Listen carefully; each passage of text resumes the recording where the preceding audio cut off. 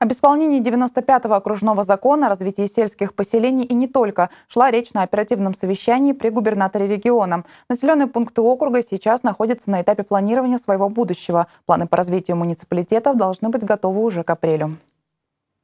Для качественного развития поселений и стабильной работы предприятий нужны соответствующие кадры. Галина Медведева, заместитель губернатора по социальным вопросам, предложила главам включить в программы развития своих муниципалитетов, предложила главам включить в программы развития своих муниципалитетов план по подготовке и переподготовке необходимых им специалистов.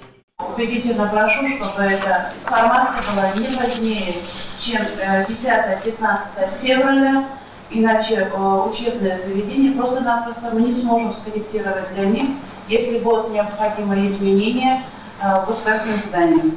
О выполнении одного из поручений губернатора, касающегося населенных пунктов округа, доложил Олег Белак. Напомню, по итогам поездки в НИС на прошлой неделе глава региона дал поручение своему заместителю, курирующему агропромышленный комплекс, о проработке вопроса обеспечения жителей округа рыбой, которая вылавливается в прибрежных поселениях. Это касается в первую очередь Наваги и Корюшки. Накануне руководитель ведомства провел рабочую встречу с председателем Ненецкого рыбак-колхозсоюза Алексеем Детятевым. Разговор оказался конструктивным. В течение первого квартала по зимнику поступит продукция морского лова рыбак рыбак колхозсоюза. Причем, как заверил руководитель, по ценам, которые существуют в настоящее время. За прошлый год цена на рыбу выросла на 19%. Поговорили стороны и об отпускной цене продукции.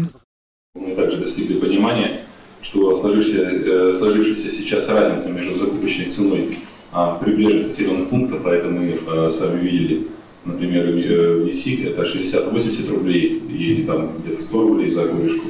И стоимостью этой рыбы в городе от 250 до 300 рублей это совершенно экономически цена, конечно, не обоснована, и может быть и должна быть скорректирована в меньшую сторону. Руководитель рыбак колхоз Союза обещал провести работу по закупке необходимого объема рыбы в сельских населенных пунктах и по доставке ее на прилавки города. Кроме того, сейчас решается вопрос о возможной доставке омуля с востока округа, чтобы расширить ассортимент продукции Аргуса. Со своей стороны власти региона готовы оказывать необходимую поддержку рыбакам и рыбопереработчикам как по доставке, так и по ее переработке. Ирина Цепетова, Леонид Шишилов, телеканал «Север».